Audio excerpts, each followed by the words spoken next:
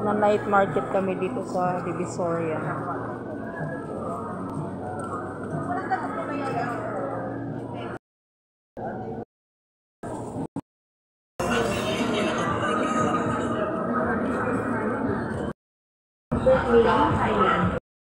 Thank you.